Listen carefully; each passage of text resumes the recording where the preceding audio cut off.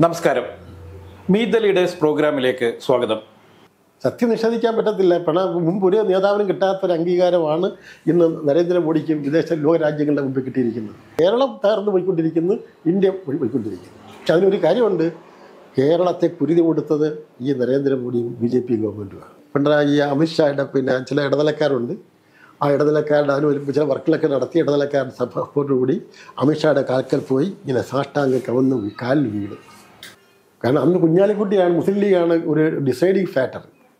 അവരെ വെറുപ്പിച്ചുകൊണ്ട് ഒരു സിനിമ എടുക്കാൻ ഒന്നും ചെയ്യാൻ പറ്റാത്തൊരവസ്ഥ വിശേഷമാണ്. ചടയം ഗോവിന്ദൻ മരിച്ചതോടുകൂടി കമ്മ്യൂണിസ്റ്റ് പാർട്ടി തീർന്ന്.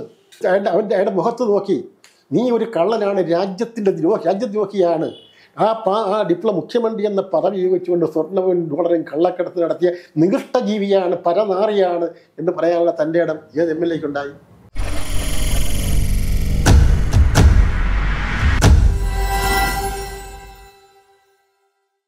ഇന്ന് നമ്മളൊപ്പം ഉള്ളത് ആർ എസ് പിയുടെ മുൻ നേതാവും ജെ എസ് എസിന്റെ സ്റ്റേറ്റ് പ്രസിഡന്റുമായ പ്രൊഫസർ എ വി താമരാക്ഷൻ അവരുകളാണ്. നമസ്കാരം സാർ. നമസ്കാരം. സാർ നമ്മൾ ഒരു എലക്ഷന്റെ പടിവാതിക്കൽ എത്തി നിൽക്കുകയാണ്.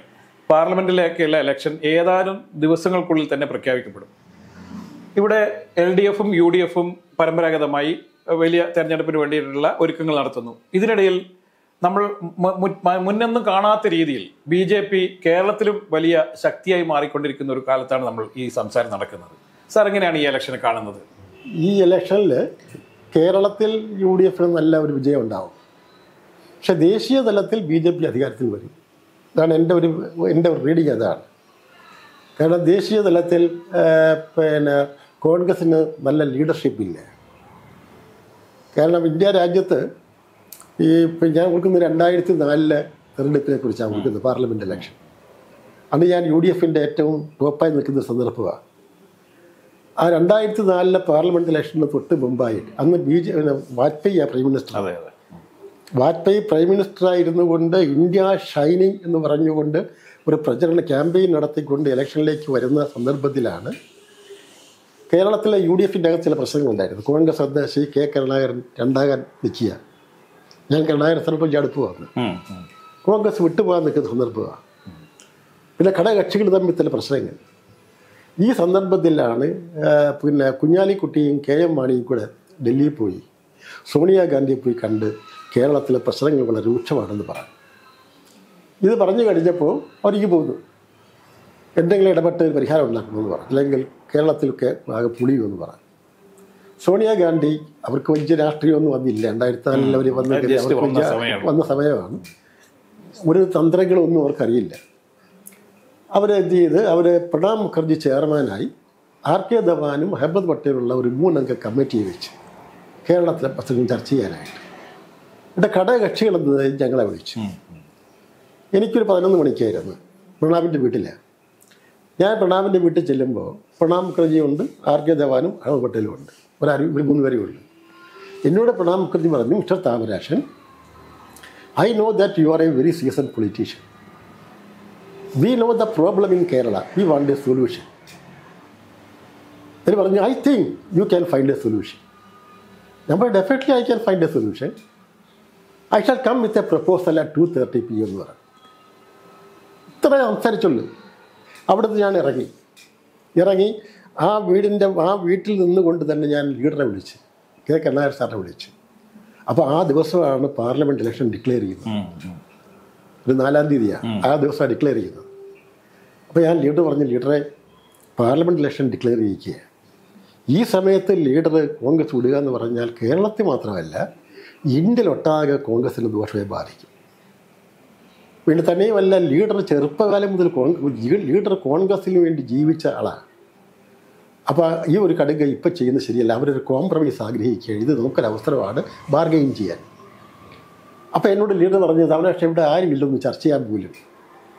തങ്കച്ചൻ സുഖമില്ലാതെ അങ്കമാലിയിൽ ഹോസ്പിറ്റലിൽ കിടക്കുക പിന്നെ ശിഹാബ് തങ്ങൾ നമ്മളെ പല കാര്യത്തിനും സഹായിച്ചിട്ടുള്ളതാണ് ശിഹാബ് തങ്ങളോടൊന്ന് സംസാരിക്കണം. എന്നോട് താൻ തന്നെ സംസാരിക്കാൻ പറഞ്ഞു ഞാൻ ശിഹാബ് തങ്ങളോട് അടുപ്പമുണ്ട്. ഞാൻ അത് കഴിഞ്ഞ് നേരെ ശിഹാബ് തങ്ങൾ വിളിച്ചപ്പോൾ ശിഹാബ് തങ്ങൾ ദുബായി പോയിരിക്കുക അപ്പം ഞാൻ ഈ അഹമ്മദിനെ വിളിച്ചു. അഹമ്മദ് എന്റെ എന്റെ ഒരു വലിയ സുഹൃത്താണ് ഞാൻ ചെയർമാനായിരുന്ന കമ്മിറ്റിയിൽ മെമ്പറായി ഞങ്ങൾ ടൂറൊക്കെ പോയി കുടുംബ സമയത്തൊക്കെ പോയി. അങ്ങനെ വലിയ അടുപ്പ ബന്ധമുണ്ട്. അഹമ്മദ് അന്ന് മഞ്ചേരി അവിടെ നിന്നുള്ള അവിടുത്തെ M L A M P ഇവിടെ. എം മലപ്പുറത്ത്. മലപ്പുറത്ത് നിന്നുള്ള എം പിയാണ് അപ്പം ഞാൻ അഹമ്മദിനെ വിളിച്ചു. അഹമ്മദിനെ വിളിച്ചപ്പോൾ അഹമ്മദ് പറഞ്ഞു ഞങ്ങൾക്ക് അറിയേണ്ട കാര്യം ഇതില്ല കോൺഗ്രസ് ഒന്നാമത് രണ്ടാമത് അവരുടെ കാര്യം. ഞങ്ങൾക്ക് കുറേ പ്രശ്നങ്ങളുണ്ട്. അത് തങ്ങൾ പറയും. ഇതാണ് അയാളുടെ റിപ്ലൈ. എന്നിട്ട് എന്നോട് വെച്ചാൽ തന്റെ മനസ്സിൽ എന്താ ഉദ്ദേശം? ഞാൻ പറഞ്ഞ് ഇലക്ഷൻ ഡിക്ലെയർ ചെയ്ത് കോൺഗ്രസ് ഒറ്റക്കെട്ടായിട്ട് പോകണം യു ഡി എഫ് ഒറ്റക്കെട്ടായിട്ട് പോകണം ഈ ഇലക്ഷന് നമുക്ക് വിജയിക്കാൻ കഴിയണം. അതിന് തന്റെ മനസ്സിലെന്താ ഉദ്ദേശിക്കുന്നത്? ഞാൻ പറഞ്ഞ ഇപ്പോൾ കെ മുരളീധരനാണ് പ്രസിഡന്റ് മുരളീധരൻ മാറണം. കാരണം അയാൾ കുറച്ച് എക്സ്ട്രീമായി പോയി ആ സ്ഥിതിക്ക് അത് മാറണം. മാറിയിട്ട് കെ കരുണാകരൻ പറയുന്ന ഒരാൾ തന്നെ പ്രസിഡന്റാവണം എന്നിട്ട് കെ മുരളീധരനെ ഡെപ്യൂട്ടി മുഖ്യമന്ത്രിയായി ആഭ്യന്തര വകുപ്പും വിജിലൻസും കൊടുത്ത് അയാളെ ക്യാബിനറ്റിൽ കൊണ്ടുവരണം. കോൺഗ്രസ് ഒറ്റക്കെട്ടായിട്ട് പോകും ഇതാണ് എന്റെ മനസ്സിലുള്ള ആശയം എന്ന് പറയാം. ഞാൻ വേറെ ഒന്നും പറഞ്ഞില്ല. ഇളകുന്നത് ഫോൺ വെച്ച്. ഈ വിവരം വിളിച്ച് അഹമ്മദ് എന്ത് ചെയ്ത്? കുഞ്ഞാലിക്കുട്ടിയെ അറിയിച്ചു. ഉടനെ കുഞ്ഞാലിക്കുട്ടി ക്ഷുഭിതനായി. ആർ എസ് പി ഒരു ചെറിയ പാർട്ടി കേരളത്തിലെ പ്രശ്നങ്ങൾ പരിഹരിക്കുന്നത് താമരാഷനാണോ എന്ന് പറഞ്ഞുകൊണ്ട് ഇപ്പം മുരളിയെ വിളിച്ച് ചോദിക്കുന്നത്. മുരളിക്കൊന്നും അറിയത്തില്ല. മുരളിയായിട്ട് ഞാൻ സംസാരിച്ചിട്ടുമില്ല. അപ്പം മുരളി പറഞ്ഞ് എനിക്കൊന്നും അറിയില്ലെന്ന് പറഞ്ഞിട്ട് മുരളി വെച്ച് മുരളി എന്നെ വിളിക്കുന്നു. ചേട്ടാ എന്താ സംഭവം എന്ന് ചോദിച്ചു. അപ്പം ഞാൻ പറഞ്ഞു മുരളി ഇതിങ്ങനെയൊക്കെയാണ് സംഭവം. ഇതൊക്കെ പെട്ടെന്നുണ്ടായ സംഭവം അവിടെ ചെന്നപ്പോൾ ഒരു ഒരു ഒരു നമ്മൾ ഇങ്ങനെ ചോദിച്ചപ്പോൾ ഞാൻ പറഞ്ഞു പറയാമെന്ന് പറഞ്ഞു. അപ്പോൾ ഞാൻ പറഞ്ഞു എന്റെ പറഞ്ഞു ചേട്ടൻ മുന്നോട്ട് പോയിക്കോ. വേറെ ആരോടും പറയണ്ട എന്ന് പറഞ്ഞു. ഞാൻ പറഞ്ഞു മുരളി ഒരു കാര്യം ചെയ്യണം. അച്ഛനെ പോയി കണ്ട് ഞാൻ രണ്ടര മണി രണ്ട് മണിക്ക് അച്ഛനെ വിളിക്കും. അച്ഛനെ പോയി കണ്ടു ഇത് കാര്യങ്ങളൊന്ന് കൺവിൻസ് ചെയ്തേക്കാൻ പറഞ്ഞു. അപ്പം ഞാൻ പിന്നെ സോണിയ പിന്നെ പ്രണാം മുഖർജിയെ കാണാൻ ചെന്ന് ഞങ്ങൾ സംസാരിച്ചപ്പോൾ ഞാൻ പറഞ്ഞു കൊടുത്തതെല്ലാം പുള്ളി എഴുതിയെടുത്ത്. അത് കഴിഞ്ഞിട്ട് എനിക്ക് മൂന്ന് മണിക്ക് സോണിയാഗാന്ധി വന്ന് ഒരു ഹലോ അവിടെ ചർച്ചയില്ല. സോണിയാഗാന്ധിയെ കണ്ട് ഈ വരുന്ന നേതാക്കന്മാരെല്ലാം കണ്ട് ഹലോ പറഞ്ഞിട്ട് വേണം പോകേണ്ടത് അങ്ങനെ ഞാൻ അവിടുന്ന് നേരെ സോണിയാഗാന്ധിയുടെ വീട്ടിലോട്ട് ചെന്നു. അപ്പോൾ ആദ്യം ചെന്നപ്പോൾ സോണിയാഗാന്ധി ഒരു ഒരു കസേരയിൽ ഇരിക്കുന്ന. അവരെ അതിന്റെ പേപ്പർ വായിച്ചുകൊണ്ടിരിക്കുകയാണ്. പേപ്പർ വായിക്കുന്നത് എന്നെക്കുറിച്ച് ഒരേ ചെല്ലുന്ന ആൾക്കാരെ കുറിച്ചുള്ള ഒരു നോട്ടാണെന്ന് തോന്നുന്നു. അപ്പോൾ ഞാൻ ചെന്ന് പറഞ്ഞു ഞാൻ പറഞ്ഞു എന്ത് പറയാനേ ആദ്യമായിട്ട് കാണുകയല്ലേ? ഞാൻ ചോദിച്ചു madam how is your health ഉടനെ അവർ I am quite fine mister Thamarakshan എന്ന് പറഞ്ഞു. എന്റെ പേര് ഇങ്ങോട്ട് പറയുകയെ. ഞാൻ അങ്ങോട്ട് പറഞ്ഞില്ല.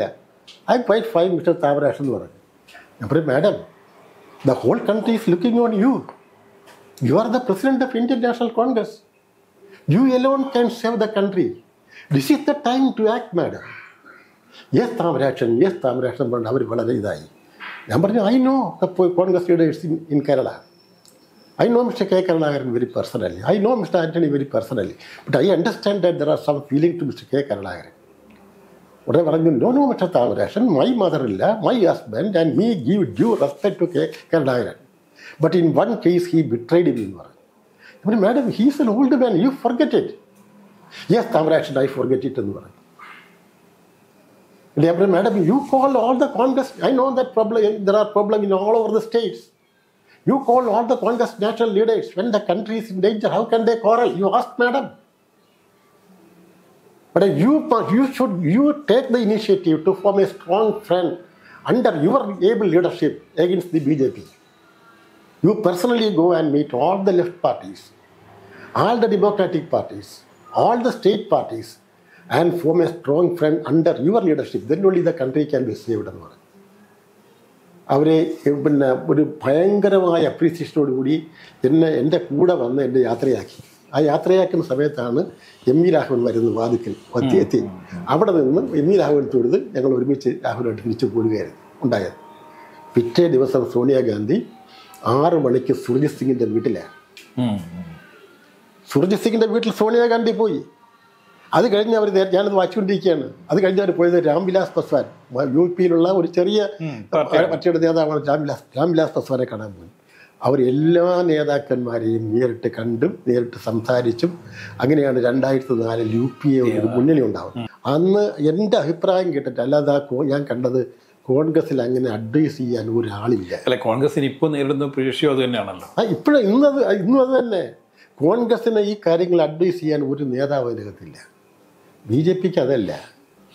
ബി ജെ പിക്ക് ഒരുപാട് ഇന്റലക്ച്വൽ ഇന്റലക്ച്വൽസ് ഉണ്ട് പിന്നെ ഇന്റലക്ച്വൽസ് അതായത് ഓരോ സ്റ്റേറ്റിലും അവിടെ ഐ എ എസുകാരും ഉയർന്ന ഉദ്യോഗങ്ങൾ വർക്ക് ചെയ്തിരുന്ന ആൾക്കാരെയൊക്കെ അവർ പല രീതിയിൽ എടുത്ത് അവർ അവർ അവർക്ക് അറിയാം. ഇപ്പം തന്നെ ആനന്ദ ബോസ് കേരളത്തിൽ നിന്ന്. അതെ അതെ. എനിക്ക് എന്റെ ഫ്രിഡ്ജ് സുഹൃത്താണ് ആനന്ദ ബോസ്. സത്യം നിഷേധിക്കാൻ പറ്റത്തില്ല. പിണ മുമ്പ് ഒരു നേതാവിനും കിട്ടാത്തൊരു അംഗീകാരമാണ് ഇന്ന് നരേന്ദ്രമോദിക്കും വിദേശ ലോകരാജ്യങ്ങളുടെ മുമ്പിൽ കിട്ടിയിരിക്കുന്നത്. കേരളം തകർന്നു പോയിക്കൊണ്ടിരിക്കുന്നു ഇന്ത്യ പോയി- പോയിക്കൊണ്ടിരിക്കുന്നു. പക്ഷെ അതിനൊരു കാര്യമുണ്ട്. കേരളത്തെ കുരുതി കൊടുത്തത് ഈ നരേന്ദ്രമോദിയും ബി ജെ പി ഗവൺമെന്റുമാണ്. അതാണ് രണ്ടായിരത്തി ആയിരത്തി തൊള്ള രണ്ടായിരത്തി പതിനാറിൽ പിണറായിക്കെതിരെയുള്ള S N C Lavalin case supreme കോടതി ചെല്ലുന്നു. അത് ഞാൻ ചോദിക്കാൻ വേണ്ടി സുപ്രീം കോടതി ചെല്ലുന്നു. അപ്പോൾ എസ് എൻ സി ലെവലിൽ കേസ് എന്ന് പറയുമ്പോഴത്തേക്ക് ഇവിടെ പിന്നെ പിന്നെ പിന്നെ പിന്നെ സി ബി ഐ കോടതി ജഡ്ജിക്ക് കാശ് കൊടുത്ത് സ്വാധീനിച്ച്. അല്ല വിചാരണ പോലും നടന്നില്ല വിചാരണ ഹൈ ഹൈക്കോടതിയിൽ പിന്നെ ഉബൈദുള്ളയ്ക്ക് അമ്പത് കോടിയും പിന്നെ മക്കൾക്ക് ജോലിയെല്ലാം കൊടുത്ത് അത് യൂസഫ് അലി അടക്കം ഇടപെട്ട് ഇടപെട്ട് ഇട- അതിൽ നിന്ന് ഊരിയെടുത്ത് മൂന്ന് പിന്നെ ഈ മൂന്ന് പേരൊഴിച്ച് ബാക്കിയുള്ളവരൊക്കെ വിചാരണ ചെയ്യാൻ തീരുമാനിച്ച് ഉദ്യോഗസ്ഥന്മാരൊക്കെ വിചാരണ ആ വിച ആ തീരുമാനം അറിഞ്ഞ ഉടൻ തന്നെ എന്റെ വലിയ സുഹൃത്തായിരുന്ന ഇലക്ട്രിസിറ്റി ബോർഡ് ചെയർമാനായിരുന്ന സിദ്ധാർത്ഥൻ അയാൾ പിന്നെ പിന്നെ ആ ദിവസം ഈ പിന്നെ വക്കീലിനെ കാണാൻ തിങ്കളാഴ്ച വിധി വരുന്നത്. വെള്ളിയാഴ്ച വക്കീലിനെ കാണാൻ ചെല്ലുന്നത് എം ജെ ദാമോദരെ കാണാൻ ചെല്ലുന്നു ചെന്നിട്ട് അവിടെ ഇരുന്ന് വൈകുന്നേരം കുറച്ച് നേരം താമസിപ്പിച്ചതിന് ശേഷം പുള്ളി പറയുന്നു രാത്രിയാണ് പറയുന്നത്. ഇത് തിങ്കളാഴ്ച വിധി വരും. മൂന്ന് പേരെ ഒഴിവാക്കിയിട്ടുണ്ട്. ബാക്കി നിങ്ങളെ അടക്കമുള്ള ആൾക്കാരെ വിചാരണ ചെയ്യാൻ തീരുമാനിച്ചിട്ടുണ്ട്. അതൊക്കെ പിന്നീട് നമുക്ക് മാറ്റിയെടുക്കാം. പുള്ളി ജീവിതത്തിൽ പത്ത് പൈസ കൈക്കൂലി വാങ്ങിക്കാത്തൊരു ഉദ്യോഗസ്ഥനായിരുന്നു. ഈ സിദ്ധാർത്ഥ സിദ്ധാർത്ഥ മേനോൻ. അത്ര ഹോണസ്റ്റ് ആയിട്ടുള്ള ജോലിയോട് നൂറ് ശതമാനം കൂറുള്ള ഒരു ഉദ്യോഗസ്ഥനായിരുന്നു. അയാൾ വീട്ടിൽ വന്ന് രാത്രി ഒന്നും ആഹാരം കഴിച്ചില്ല. അവർ അയാൾ ഉറങ്ങിയിട്ടില്ല. ഒരു മൂന്ന് മണി മൂന്നര ആയപ്പോഴത്തേക്ക് ബാത്റൂമിൽ പോയി അവിടെ പിടഞ്ഞു വീട് മരിക്കുക.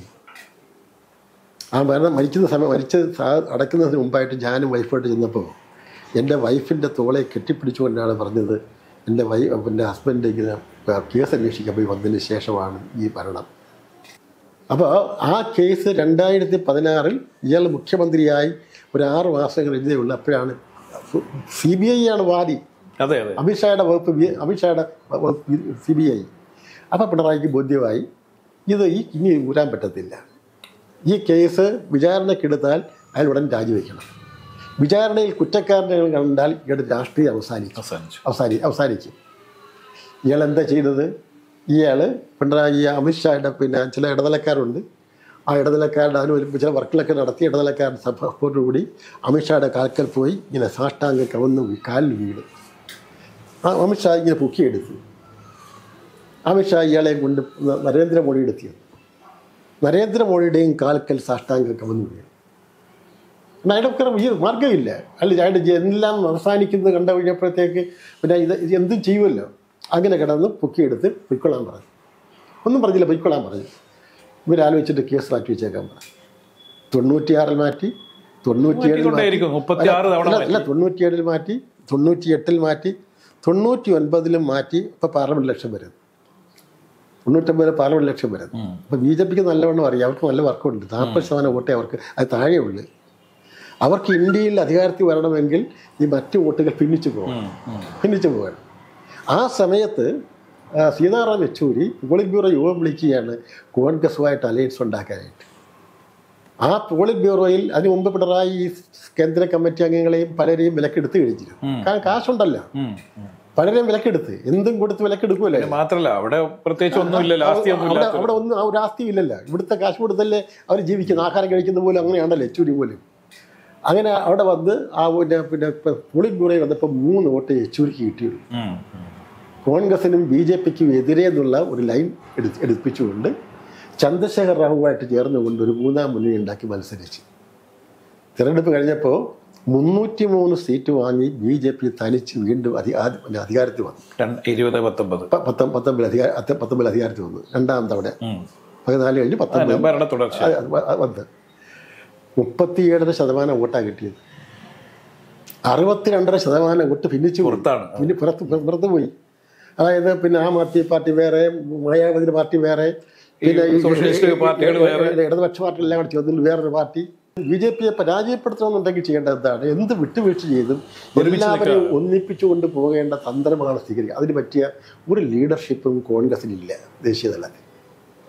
കേരളത്തിൽ ഇന്ന് വന്നിരിക്കുന്നു പറഞ്ഞാൽ വേറെ ഒന്നും കൊണ്ടല്ല. ഈ മുന്നണിയോടുള്ള ഒരു പ്രഭാവിപ്പ് കൊണ്ട് മാത്രമല്ല പിണറായി ഭരണത്തെ ജനങ്ങൾ അത്രയേറെ വെറുത്തിരിക്കുന്നു. ഈ പിണറായി ഭരണം എന്ന് പറയുന്നത് അത്രയേറെ വെറുത്ത്. ഈ നാട്ടിലെ ജനങ്ങളെ മുഴുവൻ കുറേ കുറേ കുറേ ഈ പിന്നെ പിന്നെ കുറേ ആൾ ഇവരെ കൊണ്ട് ജീവിക്കുന്ന കുറേ ആൾക്കാരുണ്ട്. പാർശ്വവർത്തികളായത് പാർശ്വവർത്തികളായ പാർശ്വവർത്തികളായ അതായത് ഈ പിന്നെ പിന്നെ പിന്നെ ഇത് പിന്നെ ഈ പിന്നെ പി എസ് സി നിയമനങ്ങളെല്ലാം മറികടന്നുകൊണ്ട് എല്ലാ എല്ലായിടത്തും നിയമനങ്ങൾ നടത്തി നിയമിച്ചിട്ടുള്ള അങ്ങനെ കുറേ അതുകൊണ്ട് ജീവിക്കുന്ന അവരുടെ ജീവിതമാർഗമാണെന്നുള്ളത് കൊണ്ട് അങ്ങനെ കുറേ ആൾക്കാരെ ഒഴിച്ച് ബാക്കി ഈ നാടിനെ സ്നേഹിക്കുന്ന ഒരാളും ഈ എൽ ഡി എഫിൽ സപ്പോർട്ട് ചെയ്തില്ല. ഈ ഈ സമയത്ത് എസ് എൻ സി ലാബിന്റെ ഒരു ഒരു നാൾ വഴി എന്ന് പറയുന്നത് സാറാണ് ആദ്യമായിട്ട് ഈ വിഷയം നിയമസഭയിൽ S N C Lavalin case ആദ്യമായിട്ട് ഞാൻ നിയമസഭയിൽ കൊണ്ടുവന്ന് ഞാൻ ഇത് അഴി എഴുതി കൊടുത്ത അഴിമതി ആരോപണമായിട്ട് ഉന്നയിച്ച് വളരെ നന്നായിട്ട് പഠിച്ച് ഹോംവർക്ക് ചെയ്ത് എഴുതി കൊടുത്ത് ഉന്നയി ഉന്നയിച്ച് സി പി എമ്മിന്റെ എം എൽ എമാരിലൂടെ എന്നെ കയ്യേറ്റം ചെയ്യാൻ അവിടെ അസംബ്ലി ചാടിക്കൂടി ചാടിക്കൂടി. അത് കഴിഞ്ഞ് പിന്നെ യു ഡി എഫ് രണ്ടായിരത്തി ഒന്നിലെ യു ഡി എഫ് ഇലക്ഷനിലെ ഏറ്റവും മെയിൻ ക്യാമ്പയിൻ ഇതായിരുന്നു. ഞാൻ നൂറ്റി നാൽപ്പത് മണ്ഡലത്തിലും പ്രസംഗിച്ചതാണ് പക്ഷേ യു ഡി എഫ് അധികാരത്തിൽ വന്നു കഴിഞ്ഞപ്പോൾ ഞാൻ ആവശ്യപ്പെട്ടു ഇത് സി ബി ഐക്ക് കൂടെ ഉം, അന്ന് കുഞ്ഞാലിക്കുട്ടിയെ സമ്മതിച്ചില്ല. കാരണം അന്ന് കുഞ്ഞാലിക്കുട്ടിയാണ് മുസ്ലിം ലീഗാണ് ഒരു ഡിസൈഡിങ് ഫാക്ടർ അവരെ വെറുപ്പിച്ചുകൊണ്ട് ഒരു ഒന്നും ചെയ്യാൻ പറ്റാത്തൊരവസ്ഥ വിശേഷമാണ്. ഒടുവിൽ ഞാൻ അറുപത്തൊൻപത് കോൺഗ്രസ് മുസ്ലിം ലീഗിന്റെ എം എൽ എമാർ ഒഴികെ അറുപത്തൊൻപത് എം എൽ എമാരെ കൊണ്ട് ഒപ്പിടിച്ച് ഞാനൊരു മെമ്മറാണ്ടം മുഖ്യ ആന്റണി മുഖ്യ ആന്റണിക്ക് കൊടുത്തു. ആന്റണിക്കോ ആന്റണിയോ അത് അനങ്ങി അന- അനങ്ങിയിട്ട് അനങ്ങിയിട്ടില്ല അനങ്ങിയിട്ടില്ല. ഇതിൽ വി എം സുധീരൻ ഒരു കക്ഷി ചേർന്നിരുന്നു ഈ കേസിൽ പിന്നെ ലാവലിൻ കേസിൽ അത് അതിപ്പോഴല്ലേ അല്ല പിന്നീട് ചേർന്നു. പക്ഷേ വി എം സുധീരനും അതിന് മുന്നോട്ട് പോയില്ല. മുന്നോട്ട് പോകത്തില്ല. മുന്നോട്ട് പോകത്തില്ല. കാരണം അവരെ പറപ്പിച്ചുകൊണ്ട് മുന്നോട്ട് പോകാൻ പറ്റത്തില്ല. ഇവിടെ ഒരു കൂട്ടുകച്ചവടമാണ്. കൂട്ടുകച്ചവടമാണ്. അല്ലാതെ നേരം നെറിവുള്ള രാഷ്ട്രീയ നേതൃത്വം ഇന്നില്ല. നേരെ നെറിവുള്ള ആക്കി നിർത്തുന്നില്ല. അതാണ് ഞാൻ. ഇനിയിപ്പോൾ യഥാർത്ഥത്തിൽ ഈ ഈ ഇവർ ഈ ബി ജെ പിയുടെ പിന്നെ പൊതുവിലുള്ള ഭരണത്തെ എനിക്ക് പല കാര്യത്തിലും താല്പര്യം പല കാര്യത്തിലും ഞാൻ വേണ്ട നയങ്ങൾ എനിക്ക് യോജി പല കാര്യങ്ങളും യോജിപ്പുണ്ട്. വരുന്നത് ചെയ്യുന്ന നല്ല കാര്യങ്ങൾ. പക്ഷെ അവർ ഒരു അധികാരം പിടിച്ചെടുക്കാൻ വേണ്ടി എന്ത് വിട്ടുവീഴ്ച എന്ത് വിട്ടുവീഴ്ചയും ചെയ്തുകൊണ്ട് ഇപ്പം തന്നെ ഞാൻ പറഞ്ഞ ഈ ഒരു ഇയാൾക്ക് ഇങ്ങനെ പിണറായി കേന്ദ്രമായിട്ടുള്ള അടുപ്പത്തിന്റെ പുറത്ത് എന്തെല്ലാം വാണികൾ കാട്ടിക്കൂട്ടിയത്? അപ്പം രണ്ടായിരത്തി പതിനാറിൽ നര പിന്നെ അച്യുത പിന്നെ ഉമ്മൻചാണ്ടി രാജിവെച്ച് പോകുമ്പോൾ കേരളത്തിന്റെ പൊതുകടം ഒരു ലക്ഷത്തി അൻപത്തൊൻപതിനായിരം കോടിയാണ് അതായത് കേരളം ഉണ്ടായത് മുതൽ ആ രണ്ടായിരത്തി പതിനാറ് വരെ മാറി മാറി ഭരിച്ച എല്ലാ ഭരണകൂടങ്ങളും ഉണ്ടാക്കിയ കടമാണ് ഒരു ലക്ഷത്തി അമ്പത്തൊമ്പതിനായിരം കോടി. ഇപ്പം ഏഴ് കൊല്ലമായപ്പോഴത്തേക്ക് അത് നാല് ലക്ഷത്തി മുപ്പത്തിനാലായിരം കോടിയായി. അത് കടം പിന്നെ വേറെ ബാധ്യത വേറെ. ഒരു ഒന്നൊന്നര ലക്ഷം കൂടി ബാധ്യത. അതായത് ഈ കിഫ്ബി ഉണ്ടാക്കി വെച്ച. കിഫ്ബി ഉണ്ടാക്കിയ ബാധ്യത വേറെ ഈ സോഷ്യൽ സെക്യൂരിറ്റി അതിന് ഉണ്ടാക്കിയ ബാധ്യത ഗവൺമെന്റ് ജീവനക്കാർക്ക് കൊടുക്കാനുള്ള ഡി എ കുടിശ്ശിക ഈ ക്ഷേമനിധി കൊടുക്കാനുള്ള കുടിശ്ശിക ബാക്കി നോക്കുകയാണെങ്കിൽ ഒന്നൊന്നര ലക്ഷം കോടി രൂപ ലക്ഷം കൂടി അത് ഒരു ഒരു ഒരു ലക്ഷം ഒന്ന് രണ്ട് ലക്ഷം കോടി രൂപ ഇവർ കട്ടെടുത്തിട്ടുണ്ട്. ഈ പിണറായി ഉണ്ടാക്കിയിട്ടുണ്ട്. അതെല്ലാം വിദേശ രാജ്യങ്ങളിൽ ബിനാമിയായിട്ട് കൊണ്ടുപോയിട്ടുണ്ട്. അല്ല ഇതേ സമയത്ത് തന്നെ എന്റെ കൈകൾ ശുദ്ധമാണെന്ന് പറയുന്നു ഞാൻ പറ്റി ഇത് ആര് വിശ്വസിക്കുന്നതാണ് ഇയാൾ? അവിടെ ഒരു നട്ടലുള്ള ഒരു പ്രതിപക്ഷമില്ല ഒരു ഒരാൾ എം എൽ എ അവിടെ ഇല്ലാത്ത ഞാൻ കണ്ടില്ല. അല്ലെങ്കിൽ ഞാൻ ചോദിക്കട്ടെ പിന്നെ സ്വ- സ്വർണവും പിന്നെ പിന്നെ ഡിപ്ലോമാറ്റിക് പാസ്പോർട്ട് ഉപയോഗിച്ച് സ്വർണവും ഡോളറും കള്ളക്കടത്ത് നടത്തി ഇരുപതിൽ ഇരുപത്തിമൂന്ന് പ്രാവശ്യം നടത്തി എന്ന് ഇതിന് പങ്കാളിയായിരുന്ന സ്വപ്ന സുരേഷ് കോടതിയിൽ വൺ സിക്സ്റ്റി ഫോറായി വിഴിവെടുത്ത് അങ്ങനെ ഒരു രാജ്യദ്രോഹി ഇന്ത്യയിലുണ്ടോ? ഒരു രാജ്യദ്രോഹി. എന്നിട്ട് എന്താണ് അത് അവന്റെ അയാളുടെ മുഖത്ത് നോക്കി. നീ ഒരു കള്ളനാണ് രാജ്യത്തിന്റെ ദ്രോഹി രാജ്യദ്രോഹിയാണ്. ആ പാ ആ ഡിപ്ലോ മുഖ്യമന്ത്രി എന്ന പദവി ഉപയോഗിച്ചുകൊണ്ട് സ്വർണവും ഡോളറും കള്ളക്കടത്ത് നടത്തിയ നികൃഷ്ടജീവിയാണ് പരനാറിയാണ് എന്ന് പറയാനുള്ള തന്റെ ഇടം ഏത് എം എൽ എക്ക് ഉണ്ടായി? ആർക്കും ഉണ്ടായില്ല. മാത്രല്ല മാത്രമല്ല ഇപ്പൊ കഴിഞ്ഞ പ്രാവശ്യം തൃശ്ശൂരിൽ മുഖ്യ പ്രധാനമന്ത്രി വന്നപ്പോൾ അദ്ദേഹം പറഞ്ഞു പ്രധാനമന്ത്രിയുടെ ഓഫീസാണ് ഇതിന്റെയൊക്കെ പ്രഭവ കേന്ദ്രം എന്ന് പറഞ്ഞു പക്ഷേ ഇതാരാ പറയുന്നത്? പ്രധാനമന്ത്രിയാണ്. പ്രധാനമന്ത്രിക്ക് വേണമെങ്കിൽ വെരി ഇമ്മീഡിയറ്റ് ആക്ഷൻ കേരളത്തിൽ നിന്നുകൊണ്ട് തന്നെ ആക്ഷൻ എടുക്കാം. അവരിപ്പോ എടുക്കത്തില്ല. പക്ഷേ ഇത് എപ്പോഴാണ് അവരെടുക്കും. അവർ ഈ പാർലമെന്റ് ഇലക്ഷൻ കഴിയാൻ കാത്തിരിക്കും. ഈ പാർലമെന്റ് ഇലക്ഷൻ കഴിയാൻ കാത്തിരിക്കും. അതുപോലെ ഇങ്ങനെ ഈ അന്വേഷണങ്ങളൊക്കെ നീണ്ടു നീണ്ടിങ്ങനെ പോകും. അവർക്ക് എന്താണ് ഈ ഇന്ത്യയിൽ വീണ്ടും അധികാരത്തിൽ വന്നു കഴിഞ്ഞാൽ അവർ ആദ്യം ചെയ്യാൻ പോകുന്നത് ഇനി അവർക്ക് ഇവന്റെ സഹായം വേണ്ട. അവർക്ക് കേരളത്തിൽ രണ്ടായിരത്തി ഇരുപത്തിനാലിൽ ഇരുപത്തി ആറിൽ കേരളത്തിൽ അധികാരത്തിൽ അക്കൗണ്ട് തുടങ്ങുന്നുള്ളതല്ല. അധികാരത്തിൽ വരണം. അധികാരത്തിൽ വരണം. അതിനവർ ചില പ്ലാൻ അവർക്കുണ്ട്. കാരണം ഇന്ത്യയിൽ കോൺഗ്രസിന് പിന്നെ ഭാവിയില്ലെന്ന് കണ്ടു കഴിഞ്ഞാൽ ഒരുപാട് കോൺഗ്രസ് നേതാക്കന്മാർ ബി ജെ പി ചേരാൻ പക്ഷേ ഇതിന്റെ ഒരു മറ്റ് സ്റ്റേറ്റ് പോലെയല്ലല്ലോ. നമ്മളെ നമുക്കറിയാം ഈ മുപ്പത്തിനാല് ശതമാനം മുസ്ലിം വോട്ട് അതുപോലെ തന്നെ പതിനെട്ട് ശതമാനം ക്രിസ്ത്യൻ വോട്ട്. വേറെ കാര്യമുണ്ട്. ക്രിസ്ത്യൻ കമ്മ്യൂണിറ്റി പിന്നെ മാറുമായിരിക്കും മാറുമായിരിക്കും. കമ്മ്യൂണിറ്റി മാറും. പക്ഷേ നാടാർ കമ്മ്യൂണിറ്റി മാറും. നാടാർ കമ്മ്യൂണിറ്റിക്കൊക്കെ മാറാൻ പറ്റും കമ്മ്യൂണിറ്റി മാറും. പക്ഷെ മുസ്ലിം കമ്മ്യൂണിറ്റി വളരെ പ്രധാനപ്പെട്ട രണ്ടായിരത്തി പതിനാലിൽ മത്സരിച്ചുകൊണ്ടിരിക്കുന്ന മത്സരിച്ചു കഴിഞ്ഞതിന് ശേഷം നാടാർ കമ്മ്യൂണിറ്റിയുടെ ആൾക്കാർ എന്നെ സമീപിച്ചതാ.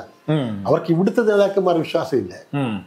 ഞാൻ മുഖേന കേന്ദ്ര നേതാക്കന്മാർ വരും ആരെങ്കിലും ബന്ധപ്പെടാൻ തയ്യാറുണ്ടെങ്കിൽ അവർ കേരളം മാത്രമല്ല കേരളം തമിഴ്നാട് കർണാടകയിലായിട്ട് പതിനാറ് ബിഷപ്പുമാരുടെ കീഴിലുള്ള മുഴുവൻ ആൾക്കാരും ബി ജെ പി സപ്പോർട്ട് ചെയ്യാൻ തയ്യാറാണെന്ന്. ആ, പിന്നീട് ഞാൻ അത് മാറിക്കഴിഞ്ഞപ്പോൾ ഞാൻ പിന്നെ അത് മുൻകൈ എടുത്തില്ല. ഞാൻ അന്ന് ആലോചിച്ചതാണ്. എച്ച് രാജുവായിട്ട് ആയിട്ട് ഒരു മീറ്റിംഗ് നടത്താൻ ഒന്ന് സംസാരിച്ചതാണ്. പിന്നീട് ഞാനത് ചെയ്തില്ല. ഇപ്പൊ നമുക്ക് സാറ് വളരെ നിരീക്ഷിക്കുന്നുണ്ടോ? കേരളത്തിൽ ഏറ്റവും കൂടുതൽ മുസ്ലിം വർഗീയവാദികളുള്ള സ്ഥലം കൂടിയാണ് കേരളം. ഏറ്റവും കൂടുതൽ ഈ എൻ ഡി എഫ് പോലുള്ള സംഘടനകൾക്ക് ഏറ്റവും വേരോട്ടുണ്ടായിരുന്ന സ്ഥലമാണ് ഇപ്പോഴും വേരോട്ടുണ്ട്. കേന്ദ്രത്തിന്റെ ചില ഇടപെടലുകളൊക്കെ ഉണ്ടായിട്ടുണ്ടെങ്കിലും കുറെ തീവ്രവാദികളൊക്കെ പിടിച്ചു ജയിലിൽ അടച്ചെങ്കിൽ പോലും ഇപ്പോഴും ഞാൻ. ഈ ഇരുപത്തി ആറ് ഈ പാർലമെന്റ് ഇലക്ഷൻ കഴിയട്ടെ.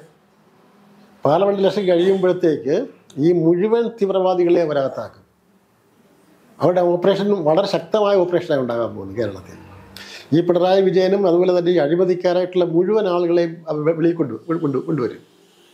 അങ്ങനെ കൊണ്ടുവന്ന് കൊണ്ടുവന്ന് തന്നെയല്ല ഇവിടുത്തെ ഇപ്പോഴത്തെ ബി ജെ പി ലീഡർഷിപ്പിനെ തന്നെ അവർ മാറ്റും കംപ്ലീറ്റ് മാറ്റും. മാറ്റെന്ന് പറഞ്ഞാൽ ആരും വെക്കുന്നില്ല. അവർ ഞാൻ മനസ്സിലാക്കുന്ന ഒരു അഡ്വ കമ്മിറ്റി വെക്കും. കേന്ദ്ര നേതാക്കന്മാരെ വെച്ചുകൊണ്ട്. കാരണം എന്താണ്? കോൺഗ്രസിൽ നിന്ന് അല്ലെങ്കിൽ ചെല്ലുന്ന ആൾക്കാർക്ക് അവർക്ക് ഔദ്യോഗിക സ്ഥാനങ്ങളൊക്കെ വഹിക്കാൻ പറ്റുന്ന ഒരു അവസരം അവസരം ഉണ്ടാക്കിക്കൊണ്ട് ഇപ്പൊ കേന്ദ്ര നേതൃത്വം ഇടക്കിടക്ക് പറയുന്നുണ്ട്. കോൺഗ്രസ് ചില പ്രമുഖ നേതാക്കന്മാർ ഇലക്ഷന് മുന്നേ വരും എന്നാണ് ഞാൻ ഇലക്ഷന് മുന്നേ ആരും പോകത്തില്ല ഇപ്പോൾ ഇപ്പൊ പോകുന്നില്ല അവർ ഈ ഇലക്ഷൻ പലർക്കും ചിലപ്പോൾ ഈ ഈ ഇന്ത്യ മുന്നണി എന്നും പറഞ്ഞിട്ട് ഇന്ത്യ മുന്നണി ഇപ്പൊ അങ്ങനെ ഒരു മുന്നണി ഇല്ല ഇല്ല അതിപ്പം വന്ന ആൾക്കാരൊക്കെ തിരിച്ചു പോകുന്നു. അതെല്ലാം ഇരുപത്തെട്ട് കക്ഷികളെ വെച്ച് കൂട്ടിക്കൊണ്ടുവരുന്നു മമതാ ബാനർജി കൂടെ ഇല്ല മമതാ ബാനർജി ഇല്ല പിന്നെ നിതീഷ് കുമാർ നിതീഷ് കുമാർ പോയി നേരത്തെ പോയി. ആം ആദ്മി പാർട്ടി പറഞ്ഞു ഞങ്ങൾ ഒറ്റയ്ക്ക് ആം മത്സരിക്കുന്നു ആദ്മി പാർട്ടി. തൃണമൂൽ കോൺഗ്രസ് ഒറ്റയ്ക്ക് മത്സരിക്കുന്നു കോൺഗ്രസിന് ഒരു ലീഡർഷിപ്പ് ഇല്ല. കോൺഗ്രസിന് ഇന്ത്യൻ രാഷ്ട്രീയത്തിന്റെ യഥാർത്ഥ ചിത്രം എന്താണെന്ന് മനസ്സിലാക്കി അതനുസരിച്ച് എല്ലാവരെയും ഒന്നിപ്പിച്ചു കൊണ്ടുപോകാൻ കഴിയുന്ന ലീഡർഷിപ്പ് കോൺഗ്രസിന് ഇല്ല അല്ല ഇപ്പൊ ഈ സ്ഥാനമോഹം കൊണ്ട് മാത്രമാണല്ലോ കുറെ ആൾക്കാർ വിട്ടുപോകുന്നത്. ഇപ്പൊ സീറ്റ് കിട്ടാൻ വേണ്ടി ഇപ്പൊ കമൽനാഥൊക്കെ ശരിക്കും പറഞ്ഞ സ്ഥാനമോഹം അല്ലാണ്ട് വേറെ എന്താണ് മധ്യപ്രദേശിലെ കോൺഗ്രസ് തമിഴ്നാട് കമൽനാഥിൽ ഉണ്ടാകും. പക്ഷെ ഇത് എല്ലാവരെയും കൂട്ടി ഇണക്കി കൊണ്ടുപോകാൻ കഴിയണ്ടേ? ലീഡർഷിപ്പിന് ചെവിയിൽ നിന്ന് വല്ലവരും പറയുന്നത് കേട്ടുകൊണ്ട് അവരെയൊക്കെ വെറുപ്പിക്കുന്ന നടപടി ചെയ്യാൻ പറ്റും ഇല്ല ഇപ്പൊ കോൺഗ്രസിന് ഇത് പറയുന്നത് ഞാൻ ഈ ഇന്ന് ഏറ്റവും ലേറ്റസ്റ്റ് ആയിട്ടുള്ള ഇന്ന് ഇപ്പൊ M P Govindan C P എമ്മിന്റെ സംസ്ഥാന സെക്രട്ടറി എം പി ഗോവിന്ദൻ മാഷ് ഇപ്പം ഏറ്റവും കൂടുതൽ ആരോപണം വെച്ചിരിക്കുന്നത് എനിക്ക് പ്രേമചന്ദ്രനെതിരെയാണ്. ഏഹ് സാറിന്റെ കൂടെ പ്രേമേന്ദ്രൻ ഞാൻ പ്രേ- മിനിസ്റ്റർ ഒരു പ്രേമേന്ദ്രൻ പാർലമെന്റിലെ ഏറ്റവും മികച്ച പാർലമെന്ററി ഈ ബി ജെ പിക്കെതിരെ ഏറ്റവും ശക്തമായി എതിർത്ത ഒരേ ഒരാൾ പ്രേമേന്ദ്രൻ പ്രേമേന്ദ്രനാണ് അപ്പൊ പ്രേമേന്ദ്രന് നേരത്തെ തന്നെ അതല്ല ആ പ്രേമേന്ദ്രനെ പിന്നെ പ്രൈം ഒരു പ്രധാനമന്ത്രി വിളിക്കുകയാണ് നമുക്ക് ഇരിക്കുന്നത് കാണുന്നത്. അത് എട്ട് പേരാണ്. എട്ട് എട്ട് പേരിൽ ഒരാൾ ഒരാൾ ഇരിക്കുന്നത് കാണണം എന്ന് പറഞ്ഞപ്പോൾ ചെല്ലാതിരിക്കും. പോകാതിരിക്കാൻ പറ്റില്ല. ചെന്നപ്പോ അവിടെ ചാല ഞാനിപ്പോ നാളെ ഞാൻ ഏറ്റവും ശത്രുവായി കാണുന്ന പിണറായി വിജയൻ. പിണറായി വിജയൻ പറയുന്നത് ഇരിക്കുന്ന കാണണം പറഞ്ഞു ഞാൻ ചെല്ലുമല്ലോ അല്ല ഇപ്പൊ പോയി കണ്ടല്ലോ. ഇപ്പൊ പ്രധാനമന്ത്രി പ്രധാനമന്ത്രിയുടെ രണ്ടാമത് വന്നപ്പോ സുരേഷ് ഗോപിന്റെ മകളുടെ കല്യാണത്തിന് പോയപ്പോ സ്വീകരിക്കാൻ വേണ്ടിട്ട് പിണറായി വിജയൻ പോയിട്ടുണ്ട്. പോയിട്ടുണ്ട്. ആ പോകാതിരിക്കായിരുന്നല്ലോ പോയിട്ടുണ്ട്. ഞാൻ ഞാൻ ഞാൻ പോകുമല്ലോ ഇപ്പൊ എന്നെ പിണറായി വിളിക്കുകയാണ്. നിങ്ങൾ തവണ എനിക്കിന്ന് കാണുമെന്ന് പറഞ്ഞ് ഞാൻ ചെല്ലുമല്ലോ അപ്പൊ അതിൽ രാഷ്ട്രീയം കാണുന്നുണ്ടോ ഏറ്റവും അപ്പൊ അതിന് ഞാൻ ഒരു രാഷ്ട്രീയം കാണുന്നില്ല ഇല്ല പക്ഷേ വർഗവഞ്ചകൻ എന്നാണ് ഇളമര കരീം അദ്ദേഹത്തെ അത് അതൊക്കെ- ഇന്ന് അതിപ്പോ അവർക്ക് കൊല്ലത്ത് എന്തെങ്കിലും കൊല്ലത്ത് പ്രേമേന്ദ്രനെ ആർക്കും തോപ്പിക്കാൻ പറ്റത്തില്ല. അല്ല കൊല്ലത്ത് പരനാരിന്ന് വിളിച്ചാണ് ആ കൊല്ലത്തെ പ്രേമേന്ദ്രനെ ആർക്കും തോപ്പിക്കാൻ പറ്റത്തില്ല. ആർക്കും തോപ്പിക്കാൻ പറ്റത്തില്ല. ആ പ്രേമേന്ദ്രനെ തോപ്പിക്കാൻ വേണ്ടി അവർ എല്ലാ അടവും നോക്കുക. ആർ എസ് പിയെ പിന്നെ തകർക്കാൻ വേണ്ടിയിട്ടുള്ള ഒരു പൊളിറ്റിക്സ് ഇപ്പം ആ പ്രയോഗിക്കുന്നത്. ഇപ്പൊ കളിക്കുന്നത്. അതൊന്നും അതൊന്നും വിശ്വാസകാര്യമൊന്നുമല്ല. അവർക്ക് വേണമെങ്കിൽ പാർട്ടിക്ക് ഒരു തീരുമാനം എടുത്ത് വേണമെങ്കിൽ ഇപ്പോഴും പോകാം. അത് ഇപ്പോഴും ഇപ്പോഴൊന്നും അവർ പോകത്തില്ല. അവരെ ഇപ്പോൾ അവർക്ക് വളരെ അവർക്ക് ഇന്ത്യയിൽ ഈ മുന്നിൽ ഉണ്ടാക്കുന്നതിന് വേണ്ടി മുൻകൈ എടുക്കുന്ന ഒരാളാണ് പ്രേമേന്ദ്രൻ ആയിരത്തി തൊള്ളായിരത്തി തൊണ്ണൂറ്റി ആറിൽ കമ്മ്യൂണിസ്റ്റ് പാർട്ടി ഭരിച്ചു ഭരിച്ചു. ചടയം ഗോവിന്ദൻ മരിച്ചതോടുകൂടി കമ്മ്യൂണിസ്റ്റ് പാർട്ടി തീർന്നു. പിന്നെ പിണറായി പാർട്ടി സെക്രട്ടറി ആകുന്നു.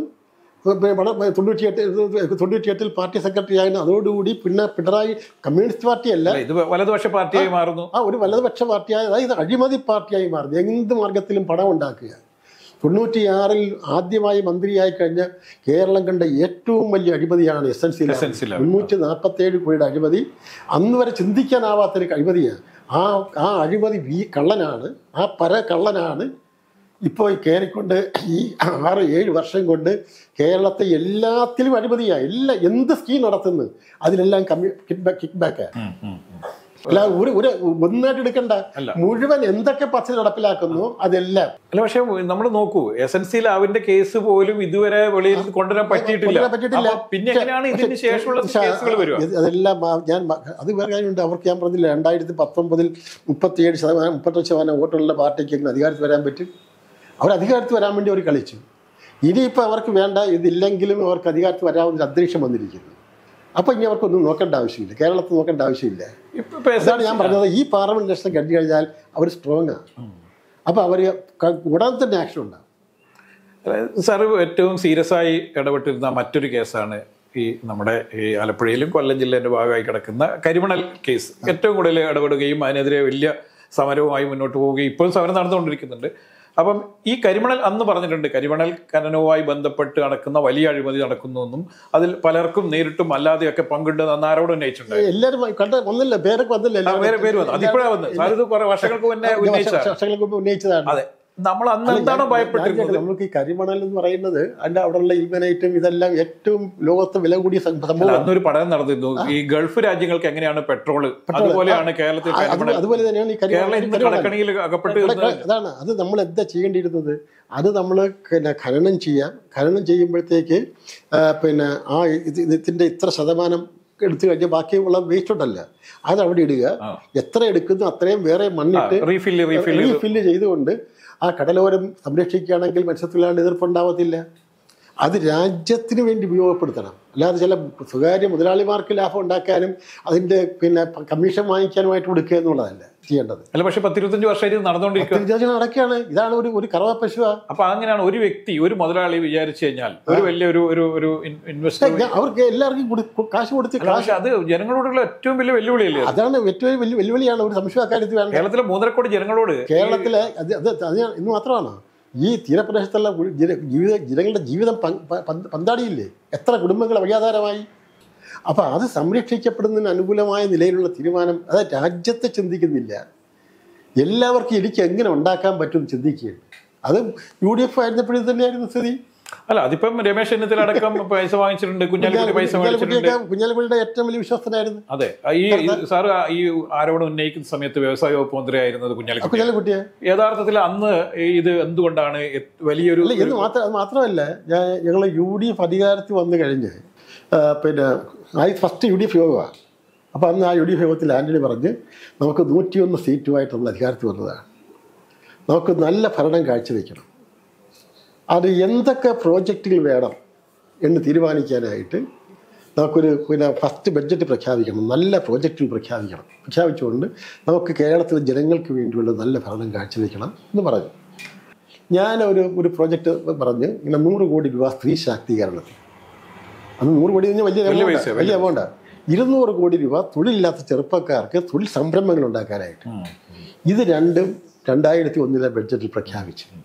ഈ സ്ത്രീകളിൽ ഇപ്പോൾ രണ്ട് ശതമാനം രണ്ട് പേർക്കേ ഉള്ളൂ ഇരുപത് പേരിൽ രണ്ട് പേർക്കേ ഉള്ളൂ എന്തെങ്കിലും ജോലി. ഗവൺമെന്റ് ജോലിയുള്ളത് ആരും കാണത്തില്ല പിന്നെ ഒരു ഒരു വളരെ കുറച്ച് കുറവായിരിക്കും. എല്ലാം രണ്ടോ മൂന്നോ പേരെ കാണത്തുള്ളൂ. ബാക്കി പതിനേഴ് പേർക്കും ജോലിയില്ല. അപ്പോൾ അവരെ കൊണ്ട് കൂട്ടിയിരുത്തിക്കൊണ്ട് അവർക്ക് എന്ത് ചെയ്യാൻ പറ്റും? അവർക്ക് വേണമെങ്കിൽ ട്രെയിനിങ് കൊടുക്കാം. ആ ട്രെയിനിങ് കൊടുത്തിട്ട് ഈ ഓരോ ഗ്രൂപ്പും വ്യവസായ ഗ്രൂപ്പായിക്ക് മാറ്റണം. മാറ്റിക്കൊണ്ട് അങ്ങനെ വന്നു കഴിഞ്ഞാൽ പിന്നെ അവർക്ക് വ്യവസായത്തിന് പണം വേണമെങ്കിൽ അതിന് വരെ ലോൺ കൊടുക്കാം കൊടുക്കാം. അങ്ങനെയുള്ള ഒരു പ്രോജക്റ്റ് തയ്യാറാക്കി ഞാൻ കൊണ്ടുചെന്ന് കൊടുത്ത് ഇതിന്റെ സംസ്ഥാന തലത്തിൽ ആന്റണി ചെയർ മുഖ്യമന്ത്രി ചെയർമാൻ ബാക്കി പ്രധാന വകുപ്പ് മന്ത്രിമാരെല്ലാം അതിന്റെ ഘടകകക്ഷി മന്ത്രിമാരായിട്ടുള്ളവരെല്ലാം ഇതിന്റെ വൈസ് ചെയർമാൻമാരായിട്ട് ഒരു ഒരു പിന്നെ ഒരു വൈ ഒരു വൈസ് ചെയർമാൻ ഈ ഫുൾ ടൈം നോക്കാനായിട്ട് ഈ മന്ത്രിമാർക്ക് കിട്ടത്തില്ല. ഒരു വൈസ് ചെയർമാൻ ആക്ടിങ് പിന്നെ ഇതിന്റെ ഫുൾ ടൈം വൈസ് ചെയർമാനായിട്ട് ഒരാൾ അത് ഞാൻ തന്നെ ആയിരിക്കും എന്ന് എനിക്കറിയാം. അപ്പോൾ വലിയ കൃത്യമായി വെക്കാറില്ല ഇത് പക്ഷെ പഠിച്ചിട്ടുള്ള ആൾ ഞാനല്ലേ ഉള്ളു. അപ്പോൾ ആ നിലയിൽ കൊണ്ട് ആ ഈ ഉമ്മൻചാണ്ടിയിലേക്ക് കൊടുത്തു. ഉമ്മൻചാണ്ടി ഇത് വായിച്ചിട്ട് പറഞ്ഞു എന്റെ താമരാക്ഷ അത് നടപ്പിലാക്കുകയാണെങ്കിൽ പിന്നെ ഒരു ഇലക്ഷനും നമ്മൾ കേരളത്തിൽ വോട്ട് ചോദിക്കാൻ പോകേണ്ടി വരത്തില്ല. എന്ന് പറഞ്ഞതാ. പക്ഷേ അതിന്റെ ഗുണം കിട്ടിയ സി പി എമ്മിനാ പക്ഷേ കിട്ടിയല്ല യു ഡി എഫ് വന്നപ്പോഴത്തേക്ക് കുഞ്ഞാലിക്കുട്ടിയെ തീർത്ത് കുഞ്ഞാലിക്കുട്ടി പറഞ്ഞു ഇത് ഞങ്ങളുടെ വകുപ്പിലുള്ള കയ്യേറ്റമാണ് ഇൻഡസ്ട്രീസ് വകുപ്പ് ഞങ്ങളുടേതാ പഞ്ചായത്ത് വകുപ്പ്. പഞ്ചായത്ത് വകുപ്പ് ഞങ്ങളുടേതാ ആന്റണി അത് മാറ്റിവെച്ച് തൊട്ടില്ലേ? അപ്പം ഞാൻ ആറു മാസം കഷ്ടപ്പെട്ടുണ്ടാക്കിയതാണ് അപ്പോഴാണ് ഞാൻ കേൾക്കുമ്പോഴാണ് കാണുന്നത് കേരളത്തിലെ പതിനാല് വ്യവസായ സ്ഥാപനങ്ങൾ വിൽക്കാനായിട്ട് തീരുമാനിച്ചു ഈ കെ എസ് ഡി പി ആലപ്പുഴയിലെ കെ എസ് ഡി പി അപ്പുറത്തെ ചേർത്തലയുള്ള ആട്ടോ കാസ്റ്റ് അത് അൻപത്തഞ്ച് ഏക്കർ സ്ഥലമാണ് അതുപോലെ പിന്നെ കോഴിക്കോട് പിന്നെ കോഴിക്കോട് സോപ്സ് ആൻഡ് ഓയിൽസ് അവിടെ Malabar spinning and weaving spinning and weaving mill തിരുവനന്തപുരത്തുള്ള പിന്നെ പിന്നെ പിന്നെ കുറച്ച് ആക്ച്വലി ഈ Kottayam textile mill Chengannur textile mill കൊല്ല കൊല്ലത്തുള്ളൊരു കൊല്ല കൊല്ല. ഇതിൽ പതിനാലെണ്ണം വിൽക്കാനായിട്ട് ക്യാബിനറ്റ് തീരുമാനമെടുത്തു നമ്മൾ അറിയുന്നില്ല യു ഡി എഫ് എന്നല്ലേ ഞാൻ അറിയത്തുള്ളൂ. ഞാൻ ക്യാബിനറ്റിൽ ഇല്ല. ഞാൻ തിരുവനന്തപുരത്ത് ചെന്നപ്പോഴത്തേക്കാണ് പിന്നെ പിന്നെ ഇന്ത്യ ഇന്ത്യൻ എക്സ്പ്രസിന്റെ ഒരു ലേഖൻ ആണ് ഉദയകുമാർ എന്ന് പറഞ്ഞ് സാർ കണ്ടില്ല അറിഞ്ഞോ എന്ന് ചോദിച്ചു. എന്താണെന്ന് ചോദിച്ചു? ഇങ്ങനെ പതിനാല് വ്യവസായ സ്ഥാപനം വിൽക്കാൻ യു ഡി എഫ് തീരുമാനിച്ച ക്യാബിനറ്റ് തീരുമാനിച്ചല്ലോ ഓർഡർ ആയല്ലോ എന്ന് പറഞ്ഞു. ഞാൻ ഞാൻ പറഞ്ഞു ഞാൻ അറിഞ്ഞിട്ടില്ല. ഞാൻ നേരെ പിറ്റേ ദിവസം യു ഡി എഫ് യോഗമുണ്ട്. നേരെ ആന്റണിയുടെ മുറിയിലോട്ട് ഞാൻ കയറി ചെന്നു. ഇത് അറിഞ്ഞോട്ടല്ലേ ഞാൻ ചോദിച്ച് ഇങ്ങനെ ഒരു തീരുമാനമുണ്ടെന്ന് പേപ്പറിൽ കണ്ടല്ലോ ഇത് ശരിയാണോ എന്ന് ചോദിച്ചു. ഞാൻ തവണയായിട്ട് അത് ക്യാബിനറ്റ് തീരുമാനിച്ചു. ഞാൻ ചോദിച്ചു ഇയാൾ ഇത്രയും പൊണ്ടനായ ഒരു മുഖ്യമന്ത്രിയാണല്ലോ എനിക്ക് തോന്നിപ്പോയി ഞാൻ ചോദിച്ച് ക്യാബിനറ്റിന് എന്ത് അധികാരം? ഇത് നയപരമായ ഒരു തീരുമാനമല്ലേ? ഇത് യു ഡി എഫ് മാത്രം തീരുമാനിച്ചാൽ പോരല്ലേ? ഇത് ഗവൺമെന്റിന്റെ പൊതുസ്വത്തല്ലേ അത് വിൽക്കാനായിട്ട് പിന്നെ പല ഈ റിയൽ എസ്റ്റേറ്റ് മാഫിയയ്ക്ക് കൊടുക്കാനായിട്ട് തീരുമാനിക്കുന്ന തീരുമാനിക്കണമെന്നുണ്ടെങ്കിൽ അത് ക്യാബിനറ്റ് മാത്രം തീരുമാനിച്ചാൽ മതിയോ? ഞാൻ പറഞ്ഞു നിങ്ങളെക്കുറിച്ച് ഒരു നല്ല അഭിപ്രായം ജനങ്ങൾക്കുണ്ട്. ഇത് നടപ്പിലാവുകയാണെങ്കിൽ കേരള രാഷ്ട്രീയത്തിൽ നിങ്ങളുടെ സ്ഥാനം പിന്നെ കുപ്പത്തൊട്ടിലായിരിക്കും ഞാൻ പറഞ്ഞു. ഇത് നടപ്പിലാക്കാനാണ് പോകുന്നതെങ്കിൽ ഞാൻ ഈ ഈ മുന്നണിയായിട്ടുള്ള ബന്ധം ഇവിടെ വെച്ച് അവസാനിപ്പിക്കുകയാണെന്ന് പറഞ്ഞ് ഞാൻ എഴുന്നേറ്റ്. അപ്പോൾ ഉന്ന ഉമ്മൻചാണ്ടി ഞാനിൽ പറഞ്ഞ് തവരക്ഷ കടുകൈ വേണ്ട തൽക്കാലം ഇതൊക്കെ നിർത്തിവെക്കാം എന്നിട്ട് അതിനെക്കുറിച്ച് പഠിക്കാൻ ഒരു കമ്മിറ്റി എടുത്ത് എന്നെ തന്നെ ചെയർമാനായിട്ട് വെച്ച് വെച്ച് ഞാൻ ഈ പതിനാല് വ്യവസായ സ്ഥാപനത്തെക്കുറിച്ച് അതിന്റെ ഓരോന്നിന്റെ എക്സ്പെർട്ടന്മാരെ വിളിച്ചു കൂട്ടി ചർച്ച ചെയ്ത് അവിടുത്തെ തൊഴിലാളികളെ വിളിച്ചു കൂട്ടി ചർച്ച ചെയ്ത് അവരെയും പറഞ്ഞ് ബോധ്യപ്പെടുത്തി നിങ്ങളിങ്ങനെ പോയി കഴിഞ്ഞാൽ ഈ സ്ഥാപനങ്ങൾ വിട്ടു നിങ്ങൾ എങ്ങനെ എവിടെ പോയി ജീവിക്കും? നിങ്ങൾക്ക് എന്താ വേറെ എന്ത് പണി നിങ്ങൾക്ക് അറിയാൻ പറ്റും? അതുകൊണ്ട് ഇത് നിലനിർത്തേണ്ടത് നിങ്ങളുടെ ആവശ്യമാണ്. അവരപ്പോൾ അപ്പോഴാണ് അവർക്കും ഇത് മനസ്സിലാവുന്നത്. അങ്ങനെ ഒരു നല്ല റിപ്പോർട്ട് ഉണ്ടാക്കി കൊടുത്ത്. കൊടുത്തു കഴിഞ്ഞപ്പോഴത്തേക്ക് രണ്ടെണ്ണം ഒന്നും ചെയ്യാൻ പറ്റത്തില്ല. തിരുവനന്തപുരത്തുള്ള ബാലരാമപുര സ്പിന്നിംഗ് മിൽ അതെല്ലാം പോയി തീർന്നു പോയി. അപ്പോൾ ആ സ്ഥലം ഹൗസിംഗ് ബോർഡിനെ ഏൽപ്പിക്കാനായിട്ടാണ് എന്റെ ശുപാർശ. അപ്പം പിന്നെ പ്രശ്നമില്ലല്ലോ. ഹൗസിംഗ് ബോർഡ് ഇപ്പോൾ നല്ല ഇപ്പോൾ വർക്ക് ഹൗസിംഗ് ബോർഡ് പാവപ്പെട്ടവർക്ക് വീട് വെച്ച് കൊടുക്കാനുള്ള സ്കീം നടപ്പിലാക്കിക്കോട്ടെ ബാക്കി പന്ത്രണ്ട് ലാഭകരമാക്കി റിപ്പോർട്ടായി കൊടുത്തു അതോടുകൂടി ഞാൻ കുഞ്ഞാലിക്കുട്ടി ഞാനോട്ട് ഉടക്കൂടെ കുഞ്ഞാലിക്കുട്ടിക്ക് സഹിക്കാൻ പറ്റിയില്ല അത്. അപ്പം എല്ലാം വിറ്റ് കാശുണ്ടാക്കാൻ നടക്കുന്നവന്മാരാണിത്. ഇപ്പം എങ്ങനെ ഈ നാട് രക്ഷപ്പെടും? അല്ല ഇപ്പൊ ഈ കുഞ്ഞാലിക്കുട്ടിയും പിണറായിയും തമ്മിലുള്ള കുറെ കാലമായി അവർ ഭയങ്കര ബിസിനസ് ബന്ധങ്ങളുണ്ട് പല ബന്ധങ്ങളുണ്ട് അവർ തമ്മിൽ. അപ്പൊ ഇതിന്റെ ഒരു പാലമായിട്ട് നിൽക്കുകയല്ലേ? അതല്ലേ ഈ കേരളം മുന്നോട്ട് പോകത്ത് കേരളം മുന്നോട്ട് പോകത്തില്ലേ? ഇത് ഈ പാവം ജനങ്ങൾ അറിയ അറിയ ജനങ്ങൾക്കിതൊന്നും അറിയത്തില്ലല്ലോ. ഇതിന്റെ അണ്ട അന്തസാരങ്ങളൊന്നും എക്സാലോജിക്ക് ഒരു ഇത് ഈ കമ്പനി ഉണ്ടാക്കിയതിന് വേണ്ടിയാണ് ഈ പണം അഴിമതിക്ക് വേണ്ടി ഉണ്ടാക്കിയതാണിത്.